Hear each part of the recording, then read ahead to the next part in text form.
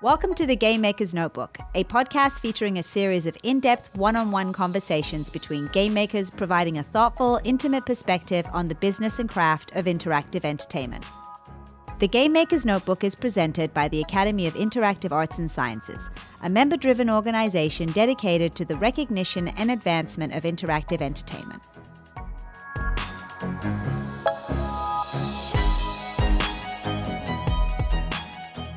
Hello, and welcome to the Game Maker's Notebook. I'm your host, Robin Hunicke, and I'm so thrilled to be here today with one of my favorite folks, Derek Yu, creator of Spelunky and Spelunky 2. And we're here today to talk a little bit about all kinds of stuff just to catch up, kind of pretend like we're at a conference and that we just bumped into each other in the hallway and are having a little chat. So, Derek, welcome to the show. Hi, thanks for having me. It's so nice to see you again virtually through this screen of recording audios. yeah, no, totally. I think this is a great um, substitute for the moment for going to events and getting to chat with other game developers. So I'm very excited. It's so great to have you here. Well, you know, before we before we do the catch up catch up, let's actually give the audience a little bit of background on you in case they don't already know you and your fantastic games. Tell me a little bit about how you got started in the industry and where you come from. Sure, yeah. Um, you know, I've just been excited about video games from a very young age. Uh, my parents had like an Atari 2600 sitting around when I was when I was born. Um, and so yeah, I I started just designing games on paper. Um, I have a very good friend, John Perry, who I was fortunate enough to meet in second grade, and we had a little group of friends that just loved video games. But you know, John is one of those people who, like me, was also interested in the creative aspect, and so we would just draw and design our own games on paper. Um, and then, you know, I think probably the next big milestone for me was when I found out about Klik and Play, which was a game making tool. You know, it's kind of like a um, precursor to stuff like Game Maker and Unity that people use today. I was around 12 when it came out. I was very excited. And I think it was with Klik and Play that, like, you know, game making really clicked like beyond just designing on paper but this was a tool where when i used it it felt very natural to make games this way. And i kind of dabbled a little bit about like what that was like? Like what what, how, what part of it felt natural? You know to me like i um you know even before like designing video games and getting into video games i just love drawing. Um and uh you know like i'm a very visual person and I think there was something about Klik and Play that just felt very organic, like drawing in the sense that, you know, when I had ideas about games through Klik and Play, I could kind of just make them appear.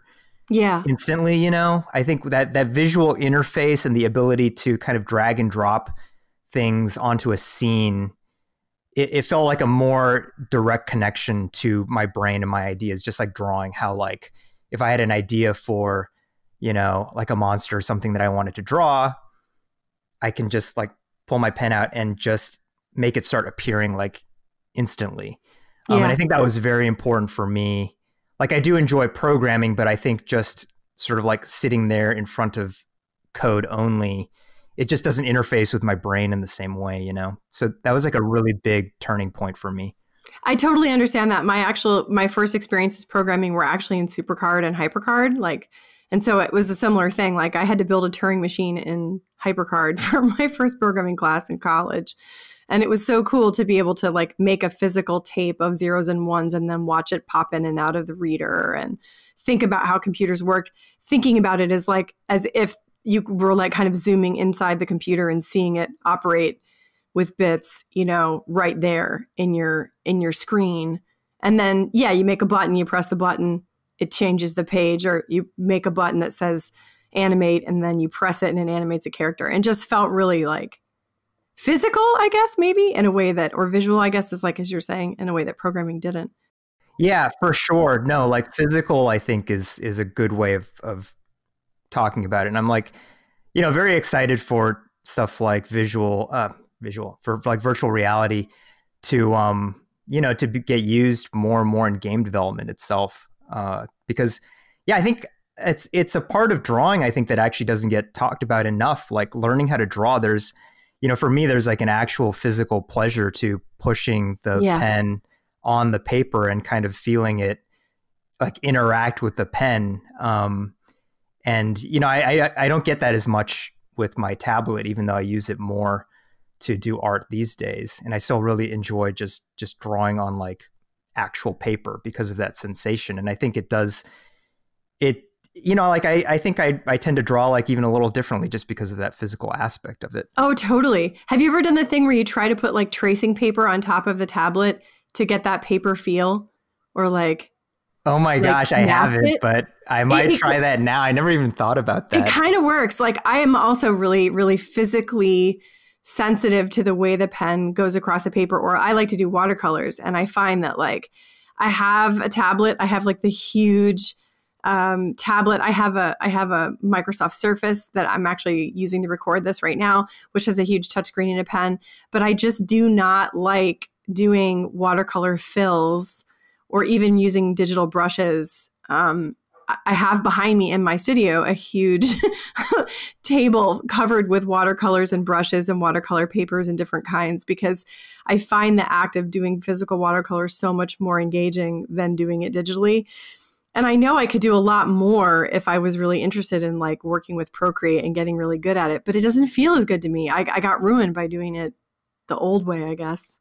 No, it makes a big difference. Um, and you know, with like painting, I like I've done a little bit of you know just oil painting and stuff like that, and there's like a technique that I learned where you know you actually hold the brush further down, uh, you know, toward the end of the brush, like the opposite end, to actually like force yourself to lose control of the brush a little bit Yeah, to get a little sloppy. yeah, get a little sloppy, and I, I think when I'm when I'm painting with the tablet, I just I find myself to be more of like a tight painter versus like yeah, you get like kind of neener neenery because you can undo stuff. Like yeah, the yeah, first time totally. you And I'm just stuff, like I feel like I'm gripping the pen like a little harder, Hard. and I, yeah, it's you know, and I think it I think it also speaks to like user interfaces in games like you know Mario Maker, how you know when you place like a block, like there's a little wiggle to it and it makes a sound. And there's this game, there's this indie game. It's kind of more of a toy called Townscaper. I don't know if you've heard of it. no, I but haven't. It lets you, it just lets you build little towns um, on water. It's like it, it just starts like there's just like an endless kind of ocean, and then you can just start placing little town pieces, and the town pieces very organically kind of fit together as you kind of plop them down. Um, that just and sounds really there's nice. just like a very tactile sensation to the placing of the pieces where like they go like bloop and you know it feels like you're dropping something into water and then That's like cool. little birds and parks and stuff like that will sort of randomly fill in depending on the arrangement of the town pieces and uh, yeah it's it's it's actually it's it looks like it's quite popular which is cool but i think that you know like i don't think it would be as cool as it is if it didn't have those little tactile kind of effects you know when, whenever you made a change to it so. You know, it's funny because like so, so when I talk to people that uh, like say some of my students and I say, "Hey, you know, like I think this needs a little more pepper or it needs a little more juice." Sometimes they're like, "What do you mean?" And I think what I'm really often saying is like you need to add the secondary and tertiary feedback to the system so that when I do something, it feels more tactile and more physical. But it's even just like exhausting to have to say that over and over. So you create these shortcuts like juicy or like, you know, good game feel or whatever but it really does come down to that kind of the physical feedback of the of the system itself. Have you ever watched a kid like do digital coloring on an ipad? Uh, yeah yeah no i've seen my daughter do it all the yeah, time. yeah it's like you know they take their little fat finger and they're like dip it in the color and then dip it in the area and it's like i watched my nephew at one point trying to color in something and he couldn't get his fat little finger inside the lines of the shape he wanted to color. So he kept like double and triple tapping on the color and then double and triple tapping on the on the shape. And i was like dude like there's a whole generation of kids that are going to learn to color by like just like vigorously like essentially jamming the crayon into the paper. Right, the yeah. metaphor is so strange. But like it's such a it's such a different metaphor for coloring than heating up a wax crayon to the point that it spreads more thinly over the surface of a piece of paper, you know? It made me yeah, a little yeah, sad, to be honest.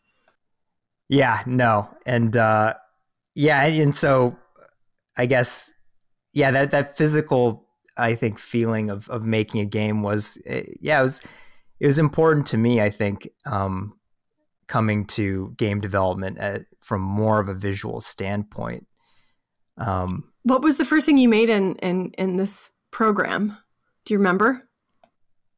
I the first game I finished, which I don't think ever made it online, was called Sasquatch Fight. and it was kind of like it was kind of like a smash style two player fighting game where each player controls a Sasquatch and you're just trying to push them into the water. Like there are all these little platforms and you try to push them into the water. The first like game that I actually released was just it was a it was another two player game uh, where you're just fighting each other with little soldiers, and it was called Trigger Happy, and I I put that on AOL, and I just I remember getting like my first feedback about the game, and people saying like, "Hey, this was fun. Are you gonna you know make anything cool. else? Are you gonna make changes to it?" And yeah, I kind of point to that moment as the the moment when I like really got hooked on the whole making, releasing games, interacting with other people through the games. Yeah. yeah. Yeah, that's so cool. I was uh, trying to describe to someone today. Um, they were asking me about Roblox and like, how do you get people to notice your game on Roblox? And you're talking about, well, you can, you know, you can buy ads and stuff, but really it's kind of like going back to the time when it was just like a forum or whatever.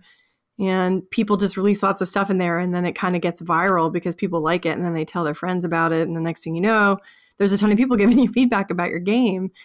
I think that people have really kind of missed out on that loop you know as games have become more commercial and like sort of some of the flash stuff has kind of faded away. There's like it's exciting to see it kind of reemerging inside of a new tool. But at the same time if you're making a game in roblox you're kind of using a pretty intense editor so you do have to like really abstract yourself from the concepts and think a little bit harder about like what am I really building in the moment. It's not um, as close to pastiche programming, which is kind of the the visual programming style that Scratch and and other kinds of visual programming language type environments use.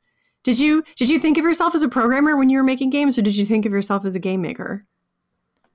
I thought of myself as a game maker because with Klik and Play, with Klik and Play, there actually wasn't really any programming in terms of like typing in code. They had this very unique uh, checkbox system where you could kind of set up like different events, but ultimately all you were doing were like checking these different boxes. But you could get like pretty complicated with it somehow. Um, to be honest, it wasn't super intuitive. uh, and you know i think over the over the years like people took took Klik and Play or like the follow-ups to Klik and Play and they added like lua scripting and stuff to it but um, i think just getting getting control of like the entire game where you're like doing the sprites you're doing the the coding even though it's checkboxes and and whatever else i think just it was more like having that kind of control made me feel like a like a game maker, like I was in control of the entire game. And Klik and Play actually had its own its own bustling little community around it in the early days of online. And it was kind of interesting. There was a um, there's like a like a like a middle-aged woman, a mom, I think, who ran like one of the biggest Klik and Play message boards at the time. Um, That's awesome. Yeah, no, it was neat. And, you know, because uh, yeah, she she just kind of like hosted this forum for for the whole community. It was called the Wall, um, and I'm blanking on her name, but it was it was neat. And we would meet up and and and talk, and it was like its own it was like its own little microcosm of of the current indie game community, um, where we would just we'd release games mostly to each other. We'd yeah. advertise our games to each other. You know, we'd have little arguments. People would like, you know, there'd be drama because like, oh, so and so's studio, quote unquote, just like snatched up an, an artist from like another person's quote unquote studio, you know. uh, and was, we're just releasing games for fun for free, but like you know, took it very seriously. I think as uh, almost like a bunch of kids kind of like playing pretend business, you know. Yeah, I think actually that that you see that in in Roblox a little bit now. If you hang out and watch kind of how things are going there, so Roblox is its own game, right? And but you can like make your own games within it. Is that it, how it works? It, it's a, it's a feed of games, uh, not unlike Kongregate was, um, and then a tool set, and then you can make your own stuff for it. So it's it's a it's a it's basically a, a collection of games that have been made using the tool, and you can either just hang out and play the games, or you can go and make your own it's a, a, lot more advanced. The tool's a lot more advanced than, than something like yeah, like you know Scratch or or um or Klik and Play or HyperCard, but it, it is less intense than something as advanced as Unity or Unreal. So you can make your own games in it and then you can share them. And a lot of the games that are there that are really popular have been made by people that are like sub 20, you know, they're just like hanging out in there and like 14, 15, 16, they start making games and then their games go viral and then they just have exactly what you're talking about. They just have a bunch of people talking about their games, they're playing their games, and their games are actually making money, which is kind of awesome if you think about it. Oh, you can actually s- sell your games on Roblox, huh? Oh, totally. Yeah. yeah. Oh, that's so great. Some, some, Roblox creators are millionaires, man. Wow. Yeah. And they're like 12 years old. well, I think those ones tend to be a little bit closer to 18, but some of them are not yet 18. Yes. There are some very successful people in Roblox that are gotcha. quite young. Yeah, and they're so, all really cool. is Roblox inspired by some like a physical real world toy? Because it the name just sounds like something like Lego or something from my childhood, I feel like. Yeah, I mean, I think Dave, Mr. Builderman, the the creator of Roblox, was like really interested in the idea of creating a metaverse where kids could be educated and hang out with each other and learn how to code. And he just started making a blocks based system you know this idea of like you know these like they look kind of like little like yeah like little lego people. And there's just a system that you can use to code up games and hang out in it. And i mean the first time i saw roblox i was visiting some friends of my aunts um, in the desert. And it was two kids that are like living out in the middle of the desert sonoran desert. And they had like old I think it was old Kindles or really old iPads, and they were playing Roblox on it. And they were just like, "Do you want to see my Roblox? Do you play Roblox? Can I show you my Roblox? Yeah, yeah do you do you do you, do you want to see it?" And it was like the game that they were playing was just, it was kind of like a zombie shooter in a subway station, and there were just like a zillion kids running around trying not to get touched by zombies. It was awesome. That is so cool. No, I'm so glad because that, that reminds me so much of the Klik and Play community and Klik and Play was honestly like so just formative and i learned so much there that you know so many skills that i ended up using when i became like a professional game developer. So i'm, I'm really glad that that kind of place still exists for for young people especially. Because it's like, cool. You can copy any game that's made that has a the public copy turned on and copy it and mod it. So that's the other thing is like you can find something you like and then you can open it up in the editor and and and then dupe it. Um, which is cool because then you can do whatever you want in that space. And so you don't even really need to know everything about how a game works to just start to play with it and take it apart. Right, right. Yeah, no, that's really that's really key because I think just getting started can be very overwhelming and frustrating for sure. Oh, especially I mean, Klik and Play had similar had a similar thing where you know they had built-in games, um, and yeah, you could you could just take them apart and and learn from them too, which was great. Yeah, they're, so they're that's like built in. They're like main. Their main game was this game called Romeo and the Pie Devil. it's just so ridiculous. It's like, yeah, you you you played Romeo from Romeo and Juliet, and the antagonist was the Pie Devil, who was just this little demon who threw pies or something. What's cool about that is it didn't take itself too seriously. Like it was just like do you know anything about the people that made it? Um, I know they're just French software engineers, and that you know, Klik and Play still exists as multimedia fusion, which I, I know people still use to make even commercial games. That's cool. So they're still around, yeah. It's like when people sort of joke around about artisanal or like heirloom, you could sort of say Klik and Play games are like heirloom or artisanal games because they come from this really old old background. What when you were when you were doing like your Klik and Play stuff, is that do you think it had like an influence on sort of your later participation in things like TIG Source and stuff like that? Like were you trying to kind of create that environment again for yourself as an older person?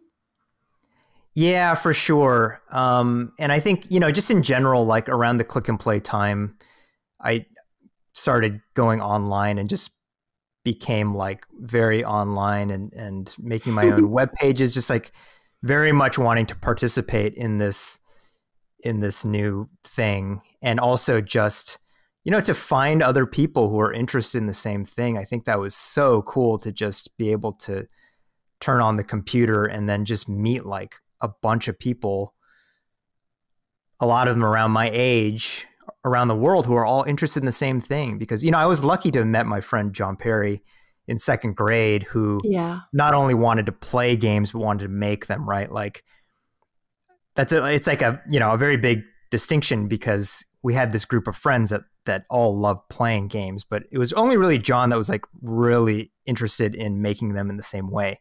And so to go online and just like find communities of all people like that, you know, was like really, really exciting.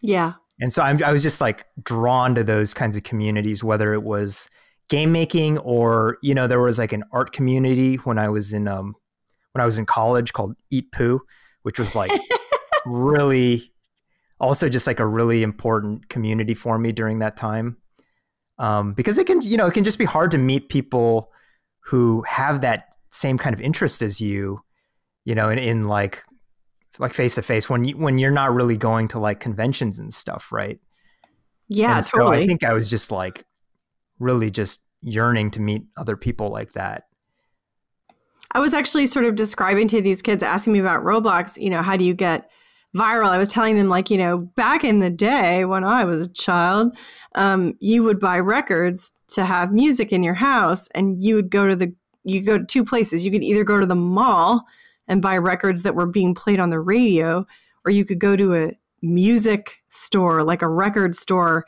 in some strip mall somewhere that was like an independent record store and it would have records that you would never have heard. And I ended up just being really excited about records that no one that I knew knew about. And I would go to the record store like literally every weekend and I would save all my lunch money so I could buy one record a week. Like a record was like $10.99 or $12.99.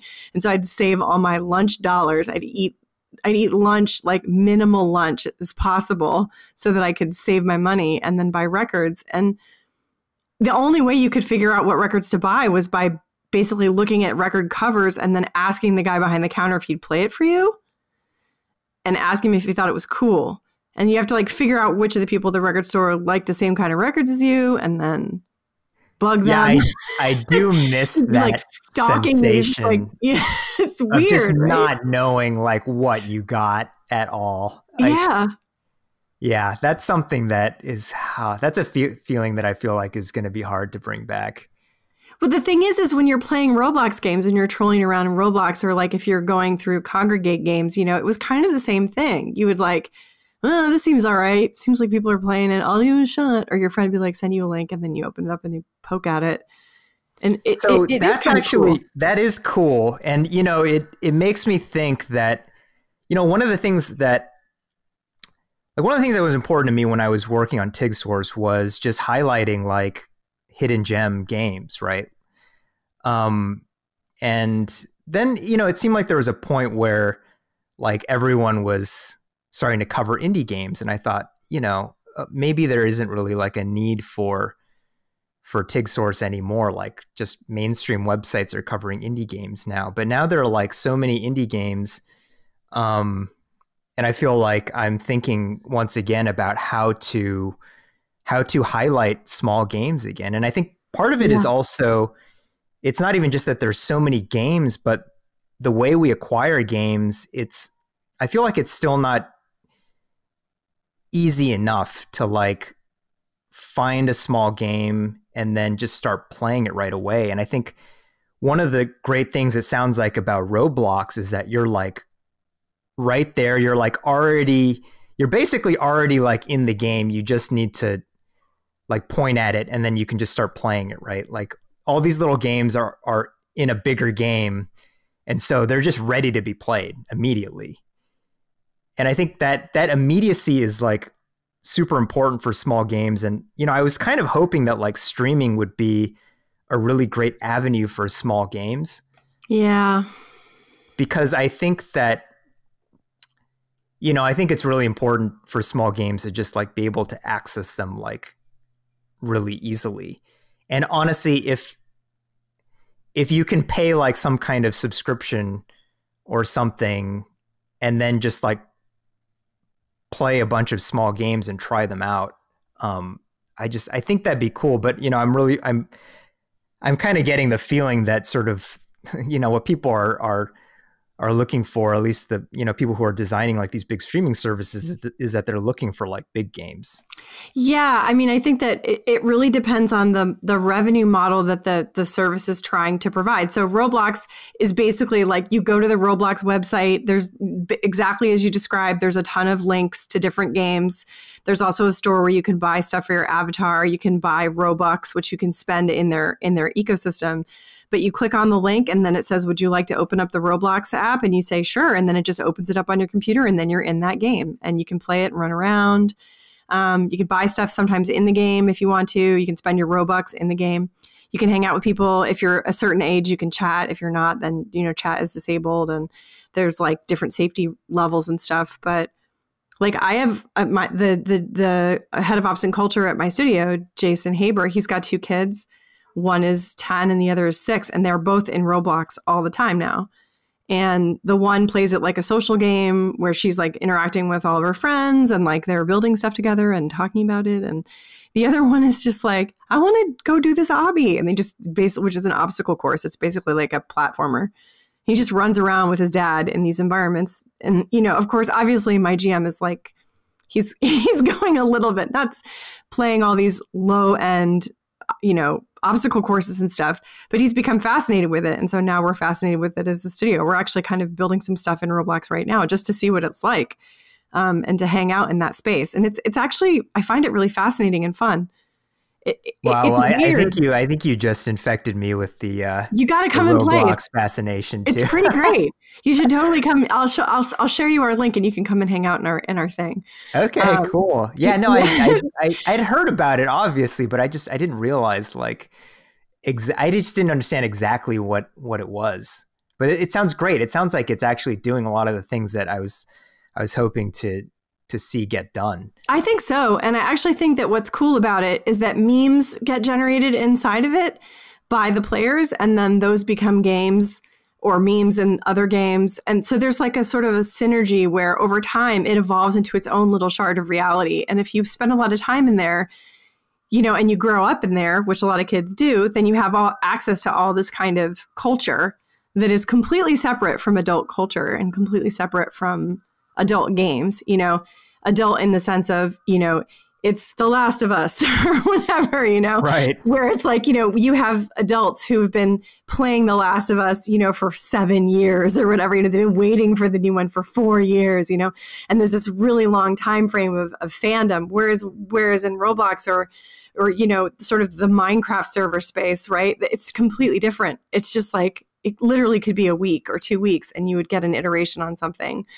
that you could hang out in and hang out with your friends in and like you know and judge and talk about and experience and then move on from. Um, it's such a different way of interacting with content than say you know playing fortnite every night with your three friends you know? Like which is it's just a different way of engaging um, which really does i think mirror Kongregate or TigSource or some of these other services that were about showing off flash games or showing off you know web-based gaming where it was really about the community of, of practice, which is kind of cool, you know? It's no, it's it sounds extremely thing. futuristic, and I, of course, it would be kids that are kind of leading the way on this. I mean, just having this like self-contained, extremely immersive world where you can you can just build your own games and obstacle courses and, and socialize and whatever else. I mean, that is totally the future of games in a nutshell, I think. The, the other thing that's really interesting to me about it is that it it eschews all conventions around controls, UI, like keyboard layouts. Everything is it's completely DIY. So if you think about it, it's kind of the most punk rock way to play video games because it's really deconstructed and a lot of it is very raw. And so there's this quality of like um, independence, fierce independence, and like childness in it which I think is really fascinating and cool. Um, it, it, I hate to say it, but I feel like a lot of content, you know, quote unquote content, even using the word content feels dirty these days. It's like a lot of it is very processed and like made for, you know, kids by adults. And it's nice to be in a place where they're just like playing. It like feels a lot more like being in the woods and coming across someone's cool fort, you know? Where you're like, you can't really imagine what they were imagining, but you get the vibe, you know, like, oh, it has a cool cubby hole and there's like a rope and like they took these busted chairs and put them over here and there's like a weird paper crown or whatever. And you can kind of imagine playing in it. I think I think a lot of what I like about what I see in in in the content in Roblox is that it has that quality. If does that make sense? Yeah, no, totally. I think I think children I think children and just, you know, amateurs in in general, hobbyists tend to come up with ideas that are just way more exciting in a lot of ways. Um, you know, they lack polish, but the the seed, you know, that you kind of want to start with, I think you sort of want that rawness to it. Um, before, you know, before you you maybe start start polishing it as like a you know professional creator or whatever. But it's uh, i think it's i think it's really important to to try not to lose that that feeling and sensation um i think of of being a kid or just just being a hobbyist. I mean i, I think that's something that i really try to carry with me into, into my projects is it is that feeling of you know being in the Klik and Play community you know and uh and just kind of coming up with ideas like off the cuff and just being very sort of like connected emotionally to the idea um, which i think it, it, can be hard with just social media as your guide to to try to figure out like what to work on and stuff because there's just so much data and there's just so much you know you see so much more of the like commercialization of games on social media like when you know when everyone you're following on on Twitter is like a professional game developer, like a professional artist or something like that. Um, so yeah, I don't know.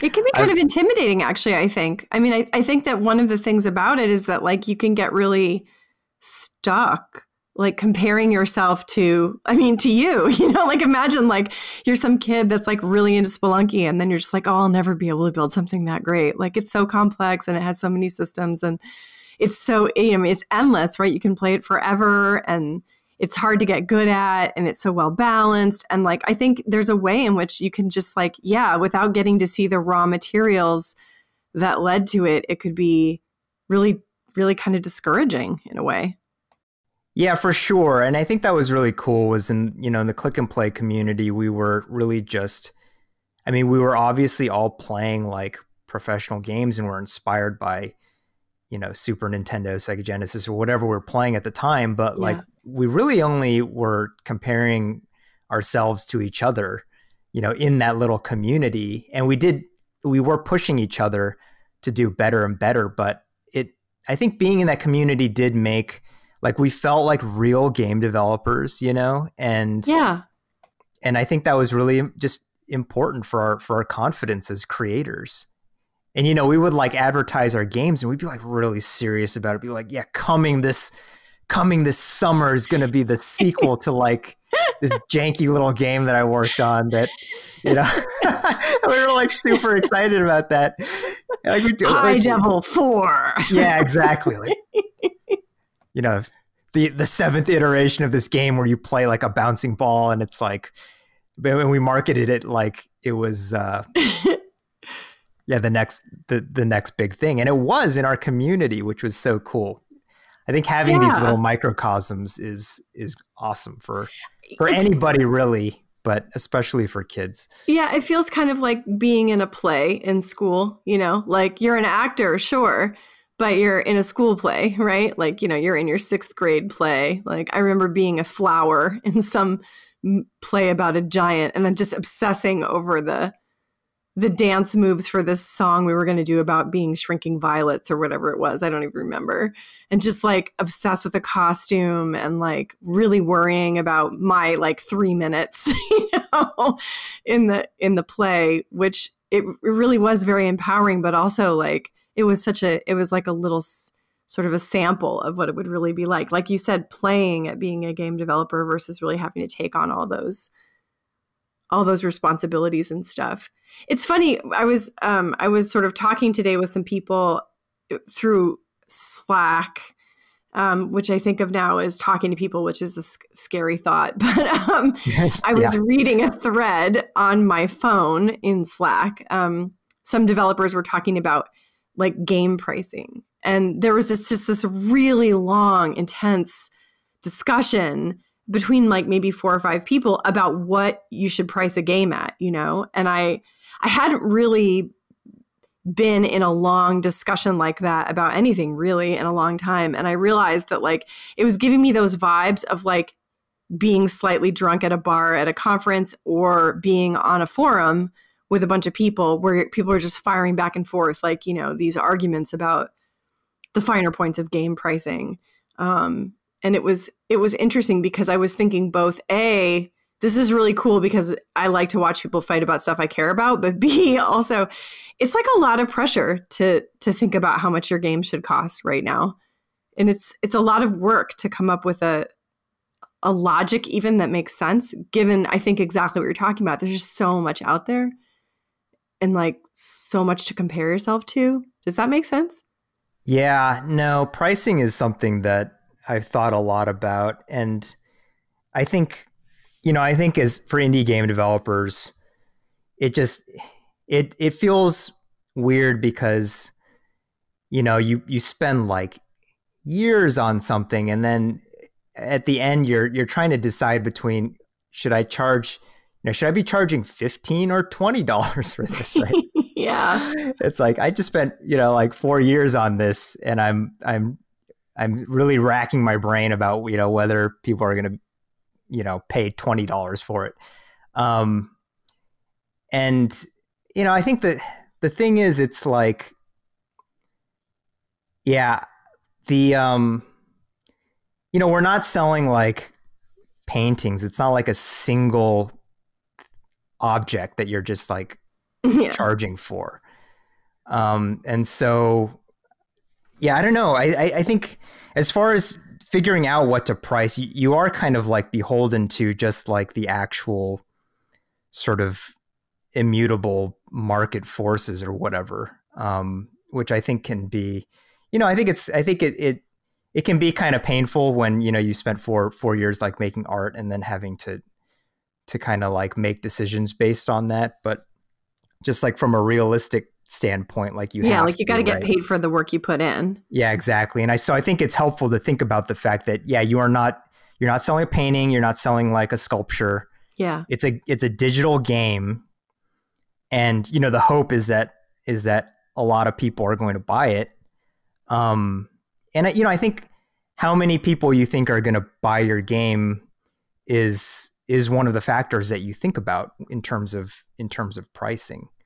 You know like if you feel like your game has has the opportunity to perhaps like make it into the mainstream consciousness and get like a mainstream audience you know it might make more sense for you to charge a lower price so that you have a better chance of kind of like breaking into that audience. Um yeah, but if you, you know, do one, that and then you don't sell enough units, then you're just like, oh, all those five dollars is that I didn't get. it's a risk, yeah. It, it's definitely a risk, um, and it's it's very difficult because you have to kind of like assess sort of the the mainstreamness of the game that you're working on, right? Which is like this very this very fuzzy and hard to figure out uh, quantity, you know. Um, and I think there are other factors that that go in, into play with that. You know, just like I think it depends on if this is your first, second, or third game, and whether you have sort of made it into that place where you know you will get kind of coverage just because this is your second game and people know about your first game too, right? Yeah. Like all that kind of plays into sort of your how big an audience you can you can kind of expect. Um, so yeah, I don't know. I think um, I've always yeah I've always just felt like if if you if you feel like you can reach that that bigger audience, I think you know in this day and age. It, it makes more sense to price a little lower if you feel like you've got like a strong a strong niche you know, it might make sense to to charge a little higher. And then, you know, it also depends a lot on just you know, like what players like value in terms of money. You know, like yeah, think, like how much time are they spending? Like yeah, how does it like fit that. in the category? Like if it's like a art category styles, that, even yeah, art styles I think are really important, and it's it's tough because I think there are there are things that that players do value, but they're not willing to pay for. You know, what would be an example of that? Do you think? I mean, I you know I'm working on UFO 50 right now, which is a uh, which is like a a it's a collection of 50 retro games. Um, and I just feel like I just feel like a lot of people love pixel art. Yeah. Um, but I don't know that it's necessarily something that people are willing to pay like a premium price for, you know? Yeah, it's like if you say, "Oh, I released a chip tune album," people are like, "Okay, cool. It should cost three dollars." yeah, people, and you know, their thing. It's like people, people love them. I mean, even just like I think, just like being, being kind of like in the indie category, right? Like you're, you're already your price point is already kind of much more limited than than like a triple A game. There are just like certain labels and and things that that I think there are actually really large audiences for, and th- that which you know people value a lot, but um, they may not see it as like something that they should be paying extra for. And so those are also, you know, I think things that you have to take into consideration. Um, it's interesting. I went and I recently went to a talk in um, Colin's Museum of Other Realities by an artist who'd created a bunch of essentially sculptures or toys in VR, and then had been uh, creating like a blockchain type system so that they could be uniquely owned and identified. And then just was talking about the ecosystem of exchange that began to evolve around these virtual reality sculptures that he was selling. And some of them got really pricey. And I was like, wow, that's such a cool thing that people care enough to own a unique object and to have it even in a platform that is really not that popular right now compared to say mobile games or you know web-based games which are like huge. Um, and then i started thinking about the difference between a real thing and a copy and like yeah if you work really hard on something for four years but anybody can own it it's less exciting for some people you know? But then for some people because everyone can have it and you can talk about it to other people then that's a reason that they value it it's just markets are just really hard to really rationalize or think through once you really start asking yourself like why do people do what they do? Like a lot of it doesn't really make a lot of sense. Yeah it's very it's actually very emotionally driven. I mean maybe that's not surprising at all but you know like i think another another thing to think about with with pricing is also just um you know like ultimately like what makes the news is is not how much money uh, a game makes, but how many players it it has. And so, yeah. you know, I think there's there is pressure there to just like get your get like player counts up, you know, and and also just to spread word of mouth because I think these days with social media, people very much want to play the games that everyone else is talking about. And so you need to get people like talking about the game and you know, I think honestly like making the price making the price of your game lower is is a way to get more people to play. Um, Until everybody does it, and then it just becomes like you're in this category of games, and you're like in the bottom third of it, let's say, in terms of pricing, and then it's like you don't signal luxury. That was actually one of the, the one of the bit finer points in this discussion was like, well, like jewelry is a good example, right? Like most jewelry is charging a massive markup because people buy jewelry to think about how expensive it is and to feel like they bought something expensive. It's not a value proposition. You don't buy jewelry because you're looking for a great deal. Um, and so it's expensive. But with games, like people are looking for deals, right? They're looking for something that's going to absorb a lot of their time so, so that they get a val- you know value for you know time spent in some cases, or they were like me as a kid with my record money, right? Like I I mean I had to choose between you know Todd Rundgren and you know the Durutti column. You know I have to like make a diff you know a difficult decision like which of these weird experimental records do I want to buy? I can't buy both so like yeah, you know, some people are like that. And it really does depend, I think, so much on where your players are. Like if you're pricing for Steam versus are you pricing for the console versus are you pricing for, you know, just like your own downloads on a PC, you know, web store or whatever. Sure. Yeah. No, definitely. Yeah, I mean, I I think that I think the idea of the um like the race to the bottom is is a is a compelling one. I I mean, I don't think I don't think indie games can really. There's not really like that much room for them to go lower in price, right? So no. it's uh you know the games are indie games are between like five and uh thirty five dollars generally, right? So you're trying to basically decide like what what part of that that scale you should be in. Yeah, unless you're the witness. Right. Yeah, yeah, yeah. yeah, I, I, no, I mean, I think it's I think it's cool for um, I think it's cool for developers with stature to you know price higher to to try to like bump up the expectation because because there is there's a lot of expectation involved. Do you, did you feel like there was a lot of expectation around Spelunky 2 and were you like were you thinking a lot about this because it was a sequel and you were like okay I got to like I got to give the players something that they really feel is a value was that, that was that a big part of your thinking around that? Not really. I think with Spelunky 2 more so, I just wanted to push what we had started with Spelunky 1. I think um, definitely in terms of like the systems of Spelunky 1, I just wanted to push it like as far as I, I could go. Uh, just, you know, like from like a theoretical point of view, like what is the possibility space of these rules that we've created for Spelunky 1? And, you yeah. know, always, I think in terms of making games, you're also just talking about your own – like physical and mental limits, right? Like I, I, I try to keep my game developments, you know, around three to four years for like a big project because you know by the time i get toward the end of the the three to four years like i'm just i, I kind of like mentally just can't can't keep doing it you know? Um, yeah you um, get the fatigue.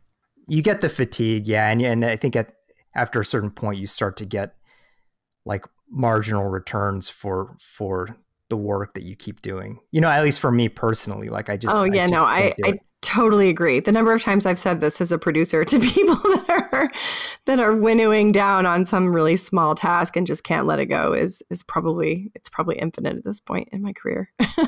yeah, yeah, for sure. Um and and and also it's just I think after like a certain period of time, you know, you you start to change as a person.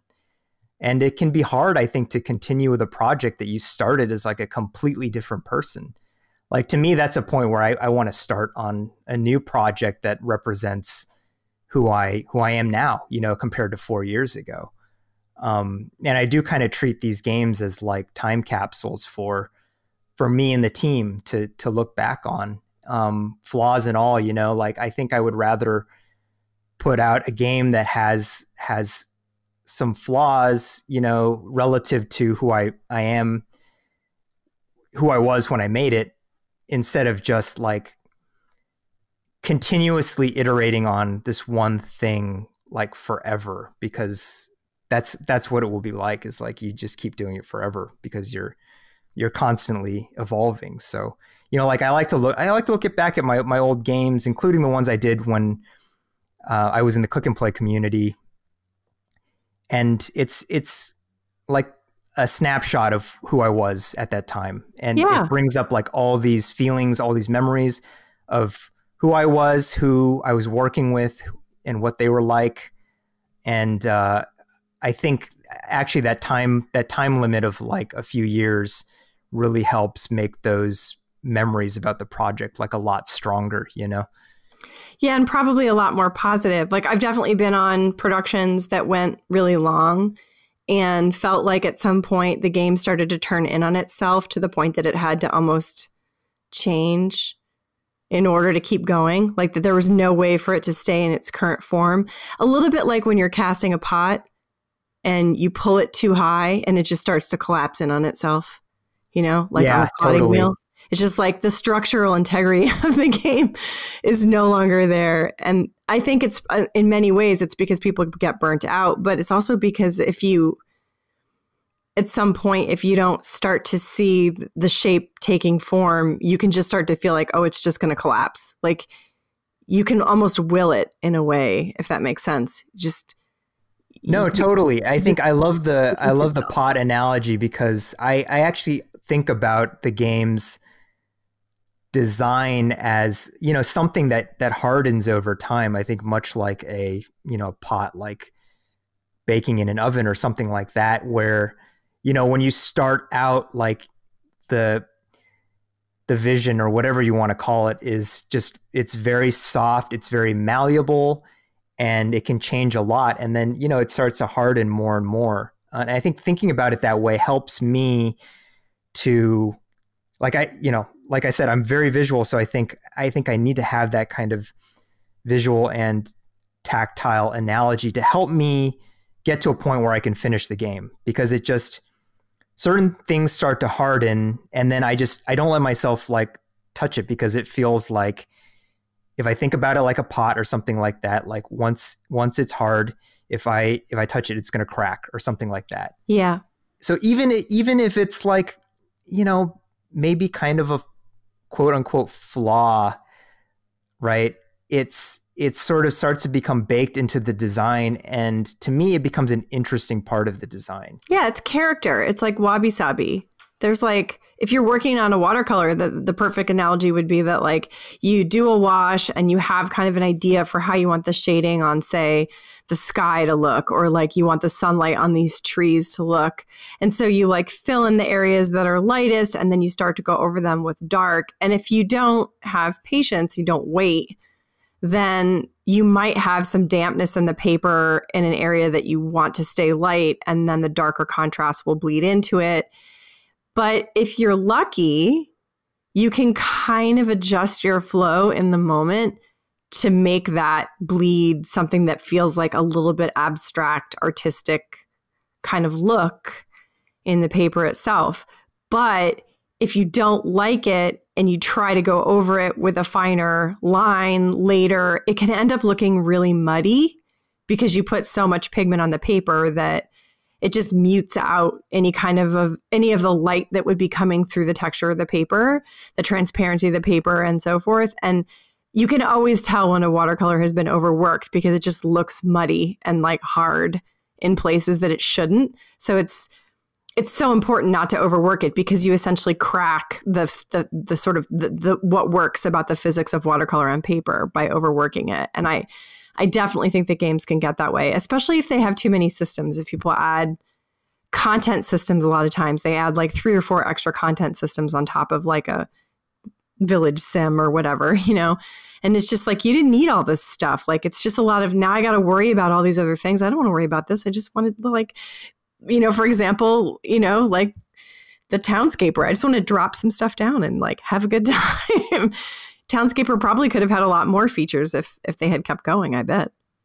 Yeah, yeah, no, I I think it's I think it's really important. I think yeah, watercolor for sure. Like after a certain point, you know, your paper is just going to it's just going to like come apart. It's like it's like the ultimate like no no take backs way of painting. And you know, I think there's a lot of I think there's a lot of anxiety in in having unlimited undos basically, you know, like we have we do have all this technology that just makes it very easy to to undo, redo, and um, I think, yeah, I, I think it, it it causes a lot of uh, a lot of unnecessary stress, and I think about the process of making games a lot because it's so it's so key to you know being able to like finish games, finish projects, and and move on.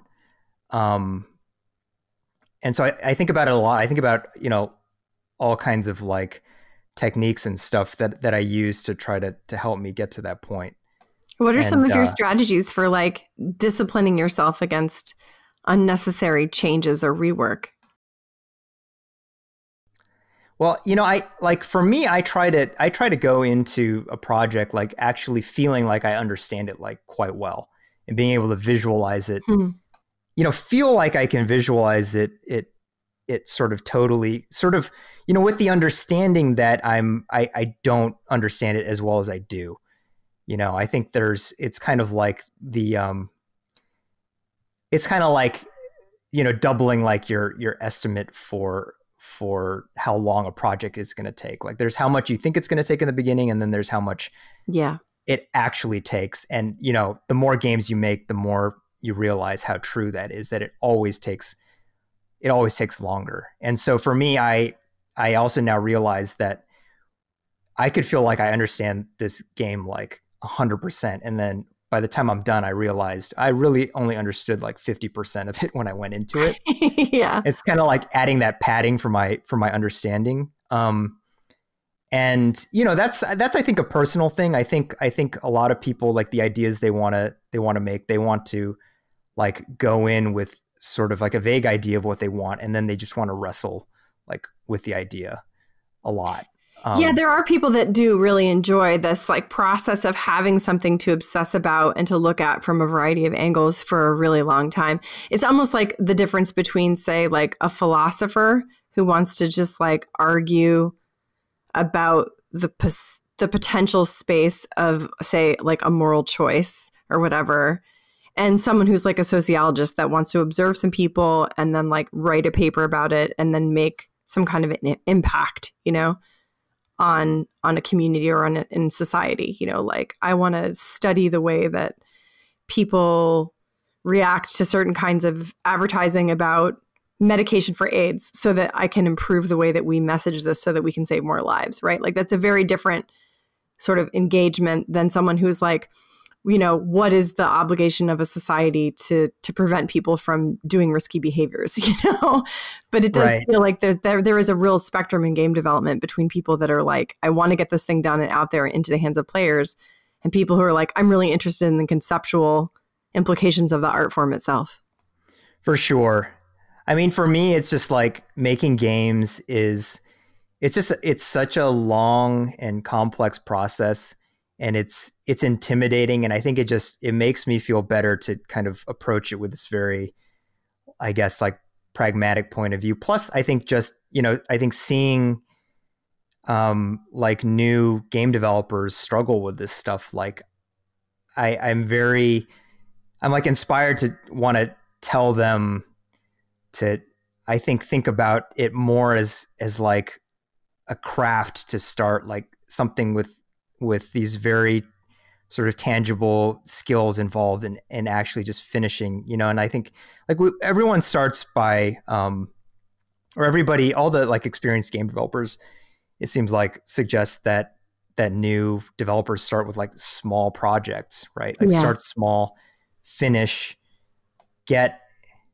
like learn what the entire process of making a game is as quickly as possible because you need to see like what's coming in the second half of development.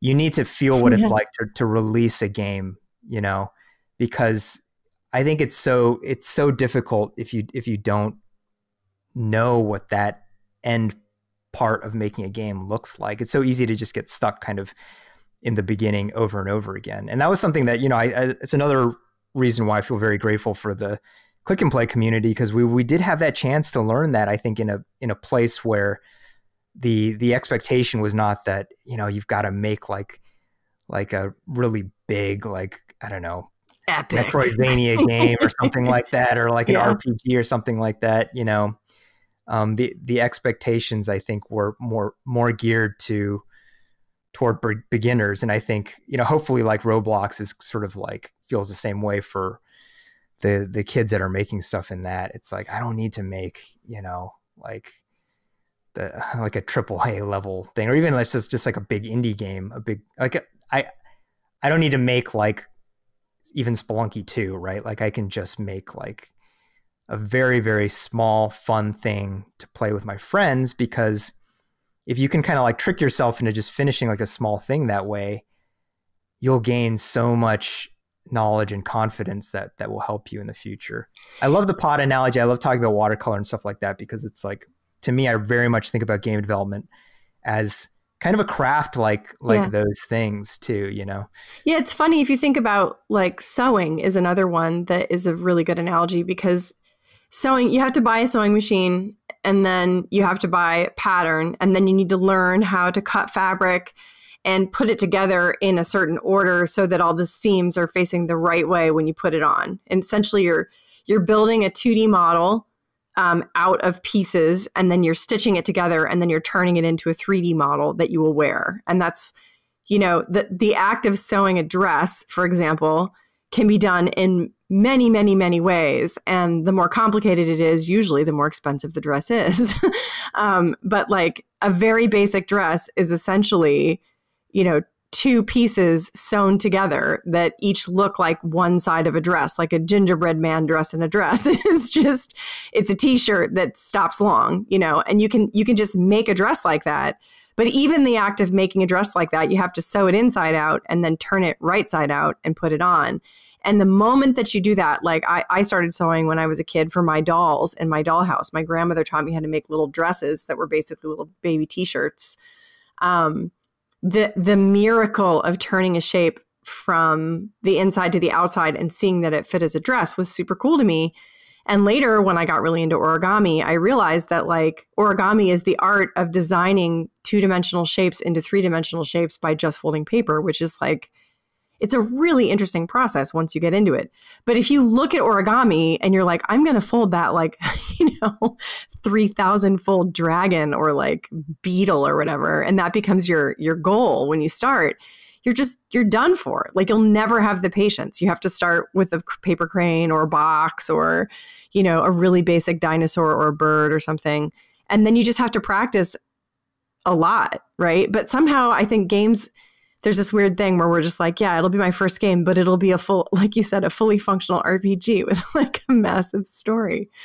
Well, I think the things you're you're talking about, like sewing and origami, and you know, we talked about watercolor and and like sculpting a, a pot or something like that. There's there's a physical connection and a physical limitation to it, and so it it just feels like it has a natural end. Whereas game development, I think, can very easily feel like there's just actually no end to it. And I, you know, games as as a art form, also, it's just you can play a game forever too, right? So it's like really, Yeah. it's really limitless, and that limitlessness, I think, you know, seeps into the the process of making it, where you can kind of feel like as a developer that I could just keep working on this game forever, and some people do, right?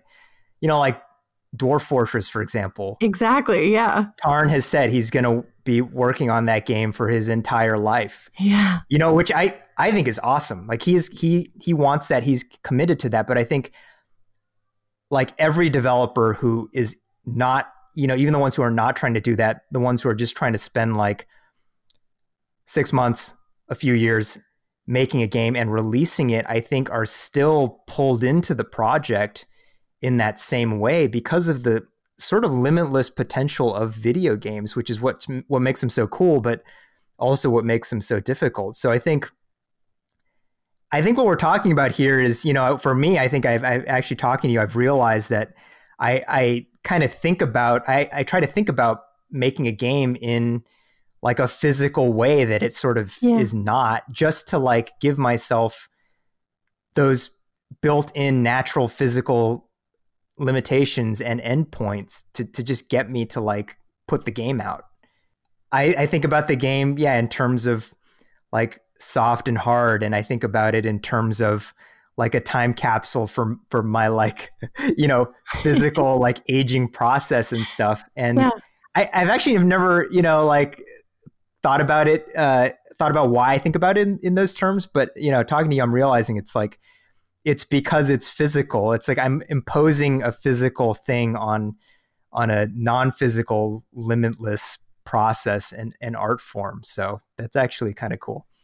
You know, it's funny because I think about games like yours or like Noita, um, games that have like a lot of simulation in them and a, a, lot of deep thinking about systems and the ways that they interact and that, that are generative in some way. Um, you know, I'm I'm been working on some generative narrative systems and some of the stuff that we're making currently, and also thinking a lot about this the ecosystem of Roblox as it of itself a, a generative system.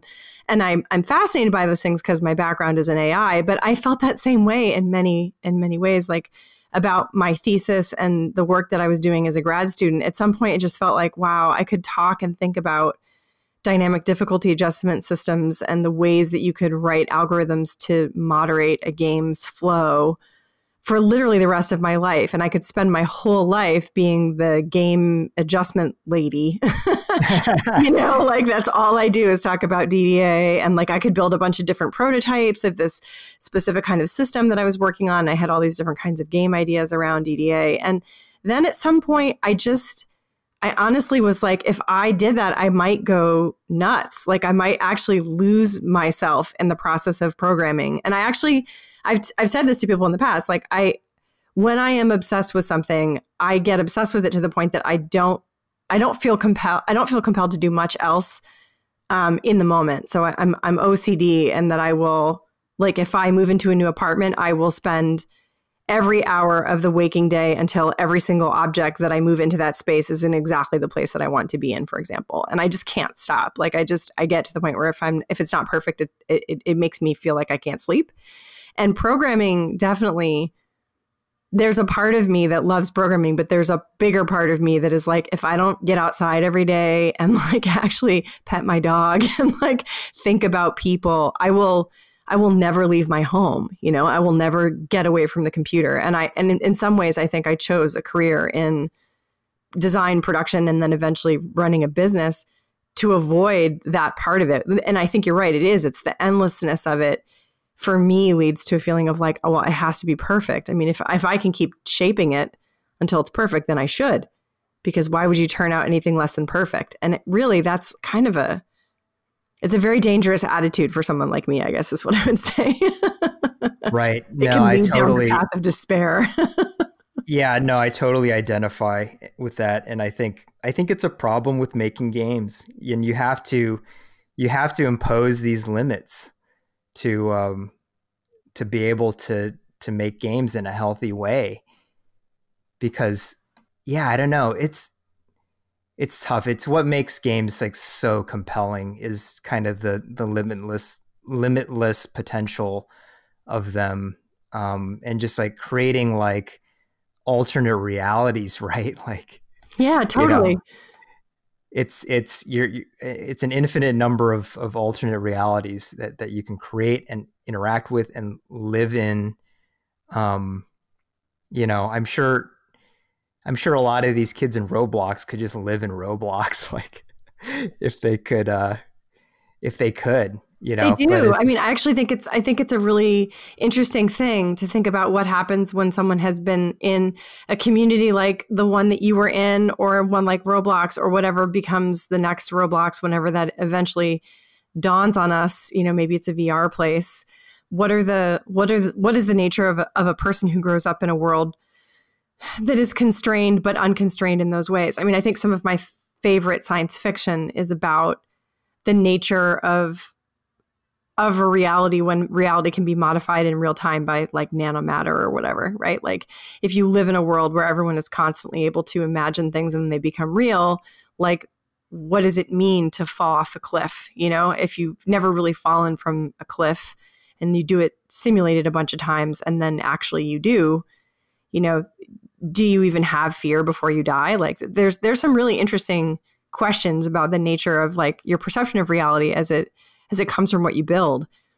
And I, I guess that's one of the reasons why I like making games that are really cheerful or like wholesome, I guess, in a way, because I feel like it's important to give people the opportunity to spend time in a wholesome environment where they are engaging with characters or mechanics that are interesting, but that like it, I feel like it has an impact, you know? Like if you play a lot of Spelunky, you start thinking about systems and like, you know, you get into that space where you're just like, okay, I've got to I've got to figure out how to do this one thing, so I'm going to try these other things, and oh, that didn't work. And it, it puts you in the mind of being very procedural about your actions. Um, and then I think it infects the way you think about other things in a positive way. You start to think about the systems behind things. No, yeah, I think about games like like their like their food, like their nutrition, and you yeah. need a variety, just like you need a variety of food. Again, it's like, yeah, I'm really realizing like I'm just I impose a lot of kind of like physical constraints and and use a lot of like physical analogies when I think about games because I think it's just it's necessary to to interact with and make games in a healthy way. Um, and yeah, you know, just like speaking of speaking of your games, like you know, I was playing Wattam yesterday with with um, my daughter, and uh, yeah, she was so it was great. Like it was, she was just giggling and uh, just having a, a great time. And you know, it was kind of interesting. I think it's always interesting to actually to see sort of the way she interacts with with this stuff versus like me and her mom. You know, and I think there's like a very uh, we can see that we have like as as grown-ups we have a very instinctive sort of nature to like find goals and everything you know and like progress um and and she just doesn't have that that same kind of uh, feeling yet, which is I think and I think playing you know games like like Wattam is a great way to sort of yeah I think uh, you know give her like a more well rounded sort of way of of thinking about stuff instead of this like yeah you know continuous like I need to make progress I need to be productive, et cetera, et cetera. Yeah, this is, I think, I mean, I can't speak for Keita, you know, because it's really uh, like that game came from inside of him. But I think a lot of what he was trying to get at was the process of having kids and realizing how goalless and directionless kids are and how perfect that is. And, you know, there were definitely d- discussions on the development side around you know, well, why doesn't it have a tutorial or why doesn't it do this or why doesn't it do that? Or like, how will you know what to do? That was a common question that would come up a lot in review. Like, how will players know what to do? And I think his answer was always, who cares? Like they can figure it out. you know, like, uh, like how do you know what to do when you're five? You just like keep doing stuff and sometimes it hurts and sometimes it's fun. And then sometimes you do it and, you know, you do it because you're told to do it because you don't want to get in trouble. But like, why why does the game have to be like that? Why does it have to be like your parents telling you to eat your vegetables? Like can't it just be like going outside? Yeah, I love I love that Keita can say that. I I try to act tough and say that kind of stuff all the time like who cares? and then I'm always like, all right, fine. Yeah, you know, we need to like make it a good user experience or, or whatever. We don't really get too frustrated.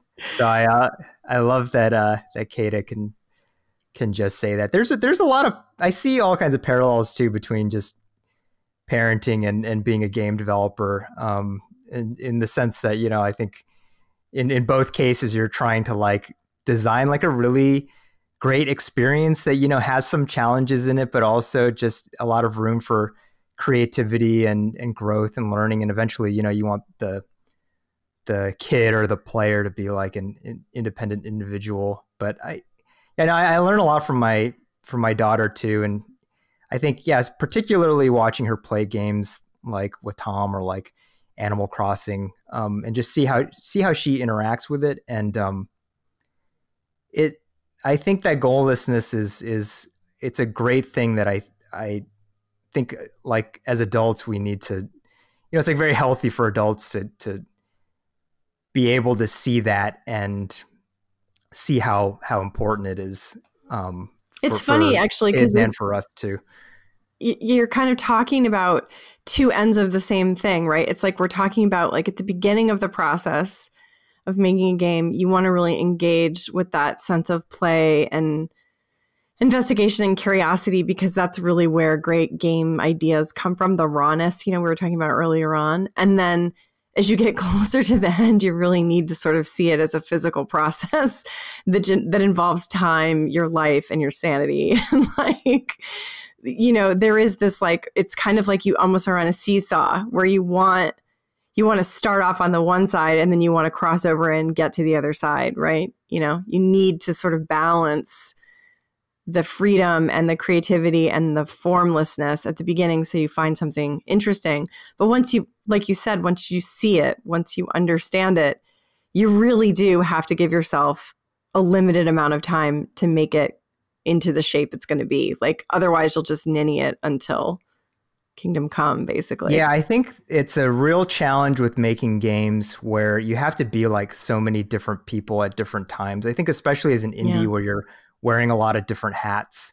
And, you know, at one point you may try to be like honestly more of like a child or like a like an you know an amateur someone who back i try to you know bring myself back to when i was in the Klik and Play community and like just really free but then you know i need to like transition to being a professional who needs to like polish the experience a bit and then yeah, when I'm when I'm like marketing the game, I'm like a different, you know, a different type of person. And when I'm getting feedback, I'm different because I need to be a little less sensitive when I'm getting feedback because if I'm like the very sensitive kind of creative artist, then the yeah, feedback, you know, a lot of feedback is just too painful to, yeah. to process, right? So I've got to be kind of like the the steely sort of, you know, robot just just parsing the feedback and stuff like that. And so it is definitely like a very like emotionally draining process.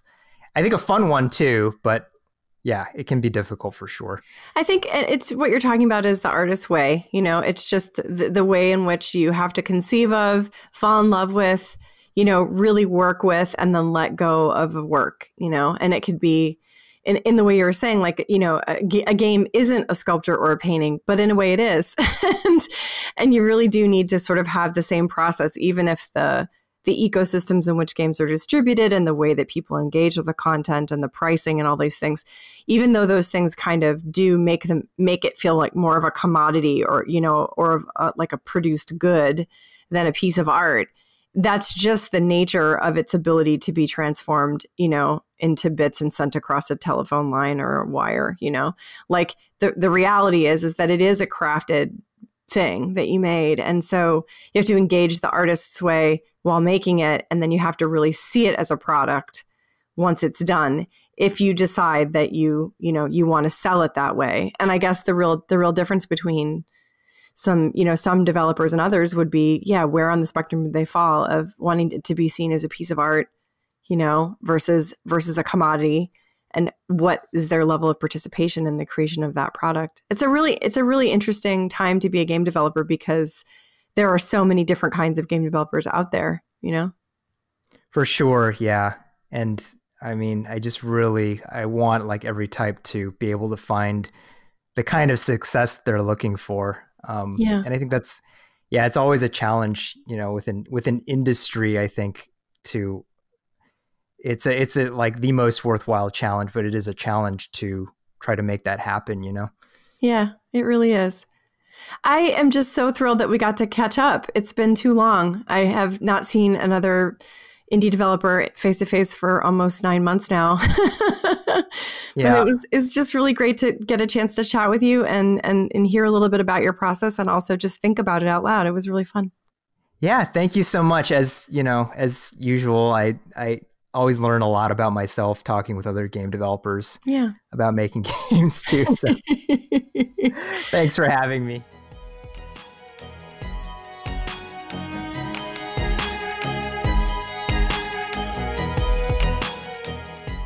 Thank you for joining us for the Game Maker's Notebook. For more information on the Academy of Interactive Arts and Sciences, our podcasts, and our other initiatives, please visit www.interactive.org.